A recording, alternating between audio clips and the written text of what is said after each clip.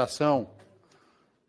Concluído o processo de votação, na qualidade de presidente do Conselho de Ética, proclamo o resultado da votação.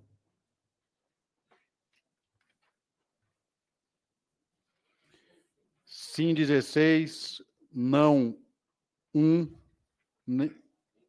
nenhuma abstenção.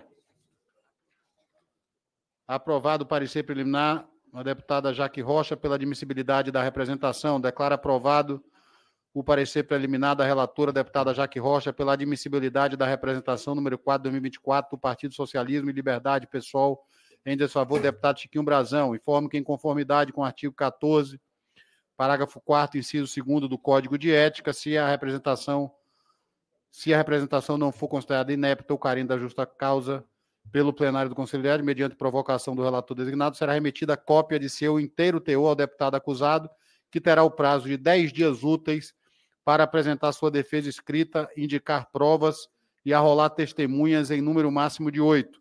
Comunico ao deputado Chiquinho Brazão e seus defensores a decisão do Conselho de Ética. Agradeço a presença dos senhores parlamentares, não havendo mais nada na pauta, está encerrada a presente reunião.